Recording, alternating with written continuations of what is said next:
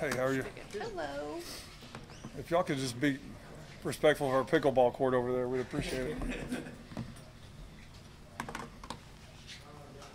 Alright, go ahead, guys. So you get after pickleball, huh?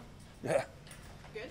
No, Coach, we played Coach Rhule yesterday. Coach, there was probably about 30 people tried to team up and beat him, and uh, and uh, Jarrett Wishon, Wishon, and he was about 30 and 0. He beat the brakes off of us. So we're all chasing Coach Rhule in the pickleball world. I, I know last week on the radio you said you wanted to throw a lot at these guys and see what they could handle. A few days in and that process, Uh, we, we did throw a lot at them, so we, we accomplished that. Um, you know, the ebbs, ebb and flows of practice is, uh, you know, pretty consistent with what it usually is over the last couple of years that we've been doing this. Is, you know, a lot of guys are grinding at it. Uh, we've practiced more than we've met since spring break, and so you know they left for a week after we installed a lot of the stuff before spring break, and we're on their own. Then they came back and we went right into practicing. So, uh, you know, I would say they're above average from a retention standpoint. It's just now, it's one thing to retain it; it's another thing to go execute it consistently. How many people have asked you what the offense is gonna be like, just walking around, and, and even your players? Like, how often do you get that question, and what do you tell them? Not a lot from the players because they can kind of watch the you know stuff that we've done in the past and and see. Uh, everybody wants to know what it looks like, you know, and in our brain, you you, you kind of know what you want it to look like, but it's always going to be you know, you're always going to go to the side of of what you have from a personnel standpoint. Uh, you know, the one consistent thing that we can guarantee is we're going to try to play clean football, protect the football. Uh, people talk about balanced offense. It's not you know, throw it 50%, run it 50%. It's just there's going to be times in the game we need to run the ball, and we got to be able to do that at a high level. And there's going to be times in the game where we need to throw the ball, and we need to do that at a high level. So everything we do daily is just trying to inch closer to those goals. It's still the first week, um, but what are some of your early impressions of how things are going for y'all? Uh, I love this team. I, I love offense, defense, not just the offense, but just uh, from the off season uh, to competition week to first couple days of spring practice. These guys compete. They like to play football. Uh, they like each other, they like being around each other, they like competing against each other. So uh, I'm really excited about where I think you know I'm. I, I'm not coming out of uh, three days thinking, oh crap, this is what I thought it was going to be. It's even higher than I thought it would possibly be from just, I mean, what we have a chance to do here. Kind of personnel do you feel like you have at this point? Like, where do you feel like you're strong based on what you have in? Uh, after three days, I don't want to say something, and then after week 10 or whatever, you say, well, you said after the third day of practice, but uh, I'm really excited. The, the core group of our offensive line is working well. I mean, they're, you know, Coach Raiola does an unbelievable job with those guys. They're a very tight knit group. Uh, we have a lot of tight ends with a lot of different bodies that uh, can do a lot of, you know, really cool things. And, you know, that's the hardest position on the field. So when we talk about throwing a lot at guys, they have like double of everything because they have to pass protect, they have to, you know, run block, they have to go run routes. So they're the ones that are having to really go extra uh, in the classroom to make sure that they're ready to go at practice. Uh, running backs, you know, been productive thus far. Had, had a good day today, and then the quarterbacks. We have, you know, we have five quarterbacks that have started games in, in college, so uh, you know, just they're competing every day. Uh, you know, just trying to make sure that you know, Coach Rhule is different than any coach I've ever worked for. He wants every single human to get as many reps as they possibly can. You know, he's not one of those guys that's just going to be the you know the good players get reps everybody's getting reps. So that's a blessing for for us with as many quarterbacks as we have because they're, they're getting a lot of reps and getting a lot of you know not only just mental reps but physical reps. Could you say who's getting the most reps at quarterback with the ones right now? Uh, I promise you they're as balanced as possible because you know we went into it trying to you know see what every one of them can do. And you know we do the way that we do our team periods. It's it's split up where basically they're alternating every certain amount of plays. So that's re- they're not all equal, but they're all within probably 10 plays of each other. You've got some veteran guys who are new to the program, like Billy and of course Jeff. How, how have those guys, um, you know, what's the learning curve like for them in comparison to you know guys who have been together for a few years? Uh, it's you know Billy and Jeff are both unique because they've played a ton of football. Uh, Billy's a you know very high foot. He loves football. You know he's super hyper competitive, and he wants the ball. And uh, you know, he's he he caught a lot of balls. Uh, you know, when he was at Virginia, he's a you know very very smart kid, very very high football IQ kid. So you know things are coming pretty natural to him. Jeff's the same way. Jeff's you know he's played for some really good coaches, some really good coordinators in the last couple years, some really good quarterback coaches. So he already has kind of a process of learning So this is not really, you know, it's new to him, and he's got to go get, you know, the reps so he can be successful at it. But it's not overwhelming. I think he's kind of it's been not an easy transition, but not a very hard one for him. Marcus, what makes Billy so versatile? Um, what does he do really well? Uh, well, he's really, really tough, and he's, you know, knock on wood, very, very tough, durable, and he can do, you know, many things for you. He is small in stature, but, you know, he can play inside, he can play outside.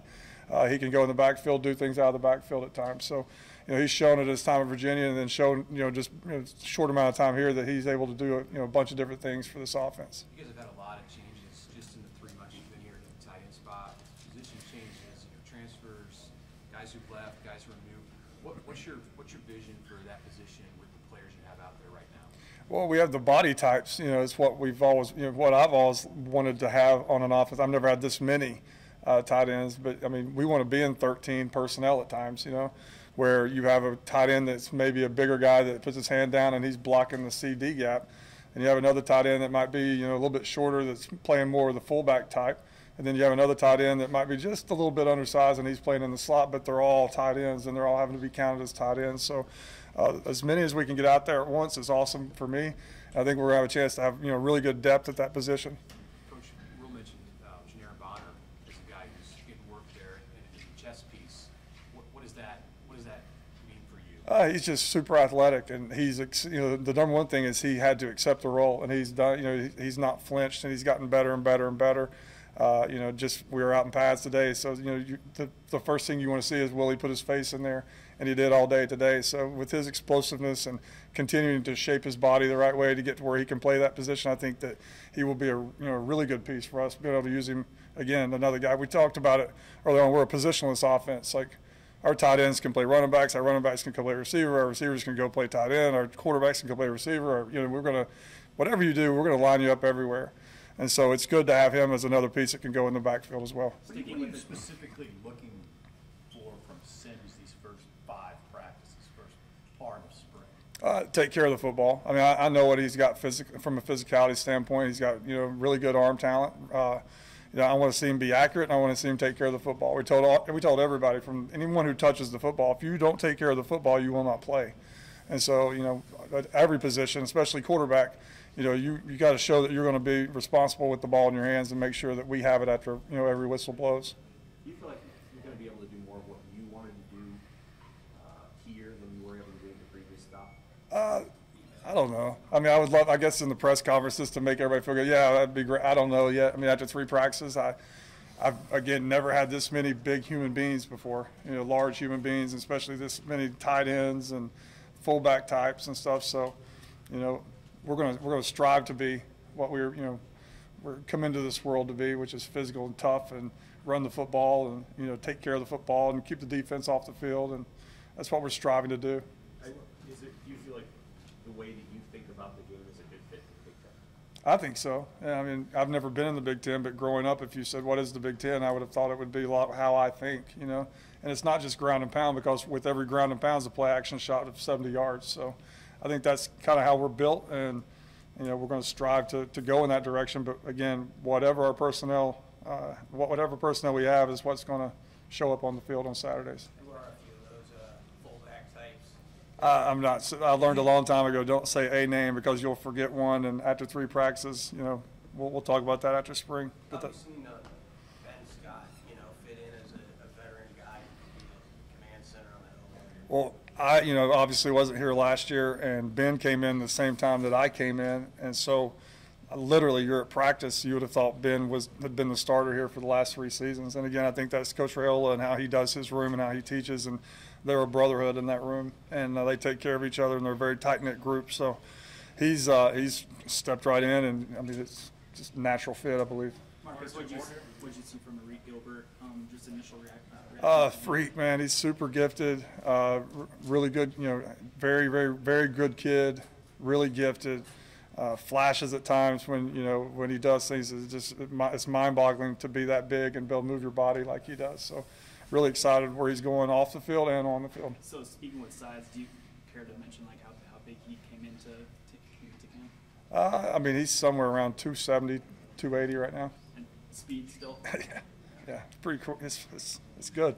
What, what does he need to kind of stay on the right track in, in terms of his development? Uh, just maintain the focus on and off the field, coming in, studying like he's been doing, learning the offense, and just putting in, putting him in situations where he can be successful. I think it's as much on us as coaches as it- as it is on him. The easy thing is to say, well, he needs to do this to be successful. Is what do we need to do for him to allow him to be successful? One more guy. Big weekend for you guys. Obviously, you can't mention games or anything like that, but what are you guys trying to accomplish with a big weekend like that? Uh, we're trying to show guys, uh, you know, what it's like to be a Cornhusker, and you know, you're going to come and get coached. You're going to be respected, and you're going to get, coached hard, and you're going to get developed into pro players if that's ultimately what you were destined to do. And you're going to be developed into great men, great husbands, uh, what great doctors, great lawyers if that's what you're destined to do. Uh, we're going to do it the right way. We got a special place. We have a special fan base. We have unbelievable facilities, and it's an unbelievable opportunity and an unbelievable conference to do. You can accomplish any dream that you have if you come play here. Let's say you sit in front of a, a quarterback and you want to turn on an NFL film and say, this is the guy that I kind of like, want, envision a, an ideal quarterback being in college. Who, who's the NFL quarterback you turn on? I mean, I, I like all of them. I, I mean, I'm not saying I'm not putting pressure. I love watching Brock Purdy play. I think he's fun as heck to watch, not just because Chubba is here, but you know, seeing him at, when we were at Baylor and Iowa State is fun to watch. Uh, you know, you put me on the spot there. Uh, Dak Prescott, I love Dak Prescott. Obviously, you like Mahomes, you like all those guys, but uh, again, tell our guys like I'll put my dog out there to play quarterback if he takes care of the ball and helps us win games. So we don't care what shape, size it looks like. We just want him to take care of the football and, and be a winner. What's the dog's name? Uh, I have three of them. All right. Coach Satterfield is one of them, and uh, I have uh, Winnie and Annabella. Thank you, guys. Thanks, Coach. Thanks, Mark.